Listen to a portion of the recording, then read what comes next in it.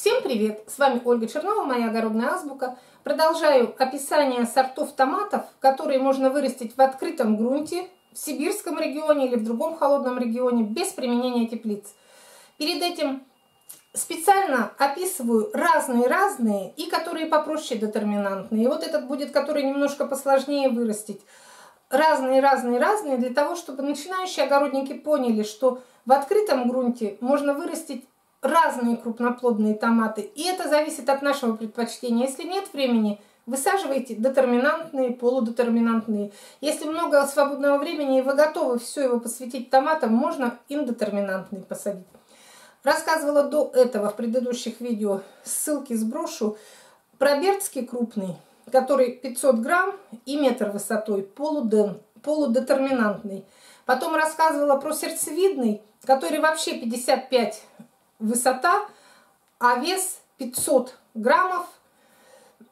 Тоже он облегченный уход. В предыдущем видео рассказывала о сорте «Любимый праздник», который он у нас отличается от всех других, там, потому что может дать плоды гиганты. Даже, говорят, до, до килограмма выращивают.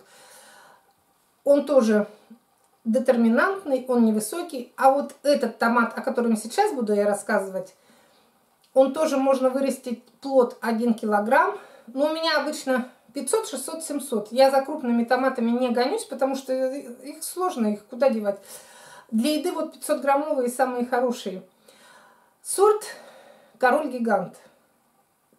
Король Гигант или Король Гигантов, я что-то... А, Король Гигантов, правильно. А я его Король Гигант, Король Гигант.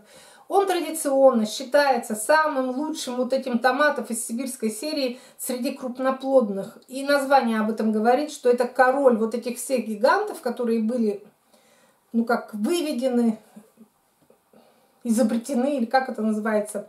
Он считается королем. Почему?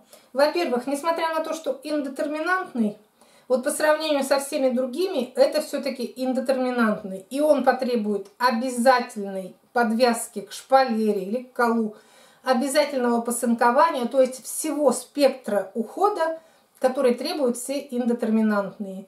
Но зато, благодаря своей вот этой индетерминантности, у него, конечно, чуть повышается урожайность. Потому что если эти до метра, они вот какое-то определенное количество, а он будет у вас метр семьдесят, метр восемьдесят. Вот меня он на 10 сантиметров перерастает, и все это, ну как вся эта длина будет а, увешана вот этими здоровыми. Но сразу скажу, самые крупные, конечно, на первых двух нижних кистях, потом идут средние. Чем он отличается от других? Ну вот мне кажется, что он отличается своей, как бы вам, как выразиться там, своим несоответствием. То, что он вроде бы индетерминантный, но он не очень требовательный ко всем к этим. Вот один раз у него выщипанешь пасынки, больше возвращаться не надо.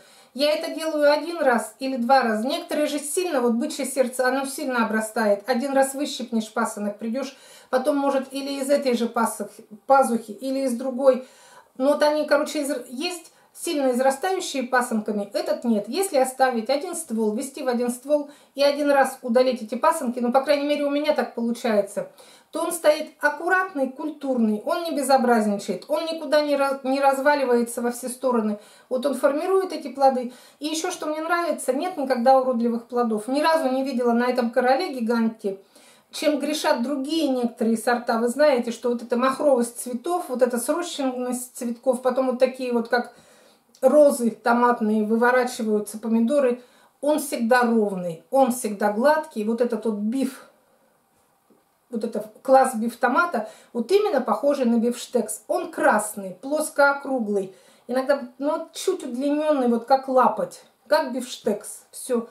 И никогда с ним нет проблем. В нем нет никогда отходов. Он именно вот форма, товарный выход плодов почти 100%. И я говорю, что никаких уродцев, никаких там кривеньких, косеньких, они вот идут как штампованные. Вот это король гигантов.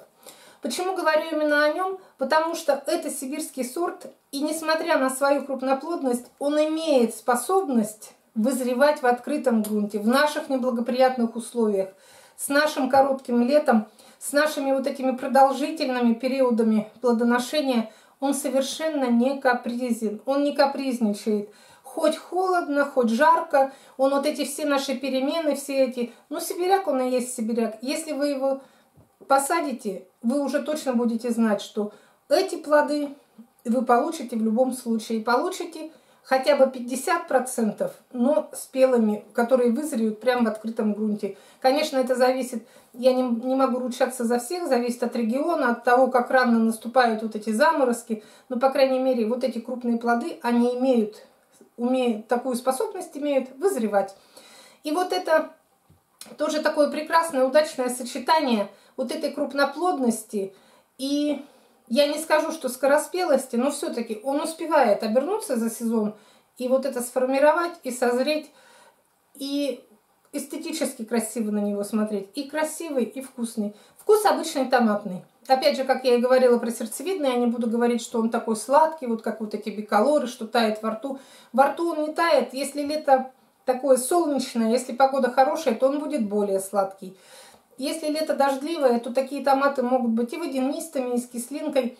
Это не тот томат, который по природе своей склонен к образованию повышенного процента сахара. Это обыкновенный томат с томатным вкусом, с присутствием кислинки, но в нем очень много мякоти. И если погода, я говорю, солнечных дней достаточно, он будет и сладкий, он будет и вкусный. Вот это будет сладость с ноткой кислинки, вот такой самый истинно томатный вкус – и еще, что немаловажно, это не гибрид, и это не редкий коллекционный сорт. Он продается, вот у нас он продается в каждом магазине. Вы можете его купить и вырастив один раз, вы можете собрать свои семена и высаживать его. В этом видео тоже добавлю, что я вот эти вот, как сказать, более подробные пояснения, вот эти видео обзоры делаю не для того, чтобы себе там кого-то привлечь, чтобы свое продать. Мне этого уже не надо. Я хочу, чтобы люди знали, что есть сорта, которые можно вырастить и в нашем сибирском регионе, в открытом грунте, без теплиц. Можно все это получить. Он у меня уже много-много лет, не буду врать, но больше пяти точно, пять или шесть лет, ни разу не было осечек. Вот в любой, при любом лете, хоть лето плохое, хоть лето хорошее, он все равно дает урожай. Все, до свидания. Вот про неприхотливые, которые для открытого грунта я сейчас закончила на этом, на короле гиганта. А в следующем видео я расскажу совсем о других, о биколорах, про которые можно сказать, вот, положа руку на сердце, что вот тают во рту, такие они вкусные, что медово-сахарные. Это, конечно, вот загадка природы, медовый салют, про которых некоторые люди говорят, что это один и тот же сорт, просто разные названия. Нет, они совершенно разные. Все, до свидания.